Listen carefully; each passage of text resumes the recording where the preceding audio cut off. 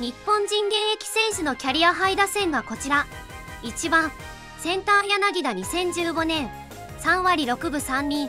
34本。99打点。2番セカンド山田2015年3割2分9厘。38本。100打点。3番 DH 大谷。2023年。3割飛んで4厘。44本。95打点。4番サード村上2022年3割1分はチリン。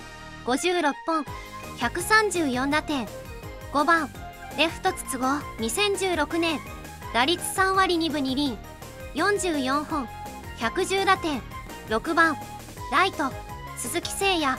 2021年3割1分7厘38本88打点7番ファースト山川。2018年打率2割8分1厘。47本。124打点。8番。ショート坂本。2019年。3割1分2厘。40本。94打点。9番。キャッチャー。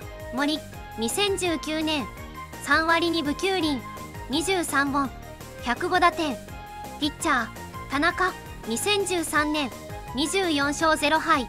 防御率1.27こんな感じか。チナポジションはその当時で作ってあるで。正隆さんベンチ入りか。吉田は安定感とかがレベチだったけど2016年の筒香には劣ると思う。4番はやっぱり村上にしたくなるよな。わかる。ああこのメンツで WBC で見て。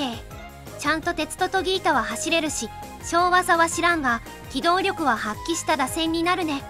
大谷さんも足速いしね。夢ありすぎてこれだけでご飯100杯食えそう。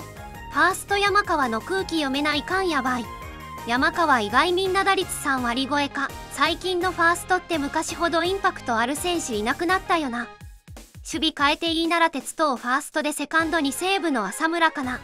ピッチャーってマー君より誰か山本の方がいいでしょう。24勝0敗っていうのがヤバすぎるんよな。防御率もいいし正直山本の方が上だろうけどマー君にしたい気持ちもわからないでもない。当時は遠高でもなかったしね。その中この成績出しただの化け物。吉田はもっと本塁打打てないといかんし守備もあれだから今メジャーで苦しんでるんだろうね。聖夜は安定感やばかったしどの年もいい感じなのがすごいわ。山田より最強セカンドは日本人だといないだろうね。牧も山田に比べるとまだまだって感じする。代打枠だと吉田。丸おかわりくらいかな。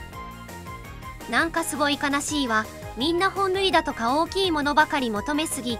大事なのはバランスであって秋山とか青木のような選手は1人くらい入れるべきでしょう。メジャーと NPB の成績の比較が難しいからね。それでも大谷さんは格別すぎて輝いてるわ。大谷ならメジャーで3割30本100打点本気でやれるよね。最後までご視聴ありがとうございました。チャンネル登録と高評価をよろしくお願いします。